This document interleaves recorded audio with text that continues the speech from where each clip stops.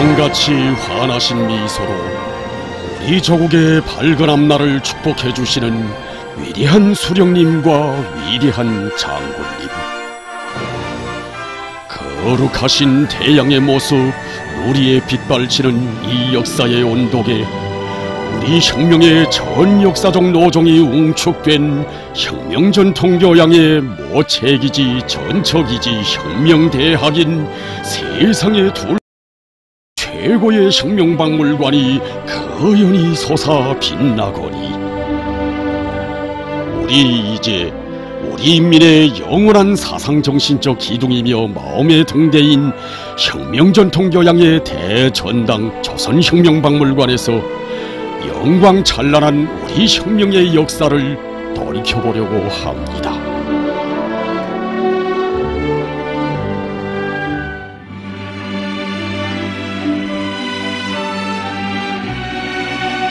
조선혁명박물관 제79호실에는 위대한 장군님께서 2000년대의 첫 기술계에서 혁명적인 문화기술 발전에 쌓아 올리신 불멸의 업적을 전하는 자료들이 전시되어 있습니다.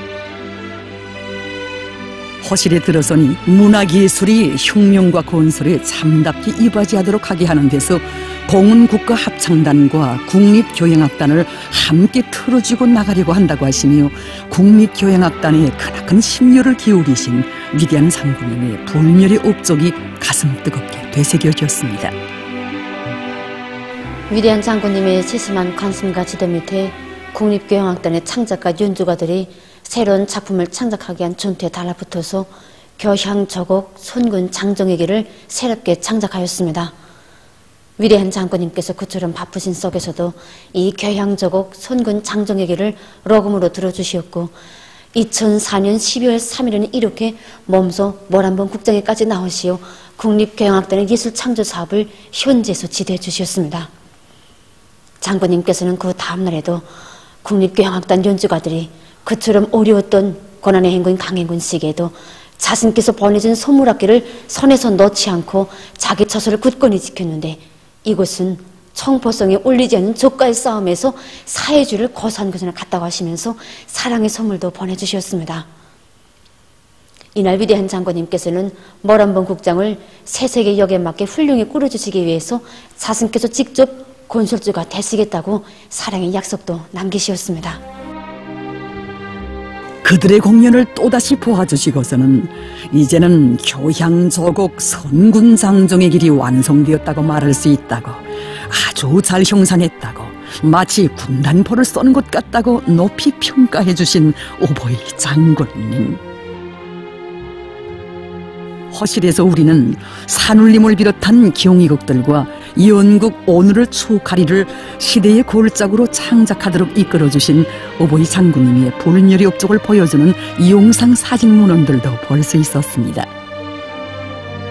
2009년 12월 11일 천리마 시대가 나온 첫 기용이곡 작품인 기용희곡 산울림을 재창조할 때 대한 과업을 국립연극단에 주신 위대한 장군님께서는 몸소 공연을 보아주시면서 확실히 경희곡 산울림은 걸작이라고 볼수록 작품이 훌륭하다는 생각이 든다고 분이 넘치는 치하를 주시었습니다.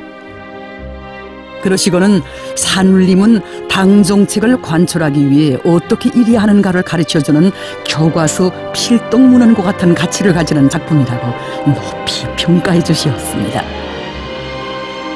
우리는 허실에서 군중문화 예술 활동도 힘있게 벌리도록 이끌어주신 위대한 장군님의 업적을 전하는 자리들도 볼 수 있었습니다. 2007년 8월 11일 위대한 장군님께서 풍남비료 윤합기업소 예술서서 공연을 봐주셨습니다. 장군님께서는 정말 공연이 전투력 있고 힘있다고 이런 공연은 전문 예술단체 예술들은 하기 힘들 것이라고 하시면서 이렇게 생활은 책상 외나 창작가 예수님들의 머릿속에 있는 것이 아니라 노동계급 속에 바로 현실 속에 있다고 하셨습니다. 위대한 장군님께서는 정말 정신이 번쩍 드는 공연이라고 하시면서 흥남 노동계급 속에서 활짝 꼽혀나고 있는 군중 예술이야말로 손군시대 노동계급의 새 문화라고 높이 평가해 주시면서 자신의 감사도 보내주셨습니다. 위대한 장군님께서는 그들이 평양에 올라와서 공연하도록 하시고 그들의 공연을 텔레비전 방송으로 내보내서 어느 나라가 다 보도록 해야 한다고 하시면서 그와 관련한 운정 깊은 조치도 취해 주셨습니다. 사회주의 강국 건설을 위한 투쟁에서 문화기술이 노는 역할을 깊이 통찰하시고 혁명적인 예술 창조로 우리 민들에게 필승의 신심과 낙관을 안겨주신 위대한 장군님. 2000년대의 첫 기술기 태어난 명작들에 깃들어 있는 사연들을 통해서 우리 민들이 어떻게 사회주의 소전에서 영적 승리자가 될 수 있었는가를 다시금 깊이 느낄 수 있었던 우리는 참관을 이어갔습니다.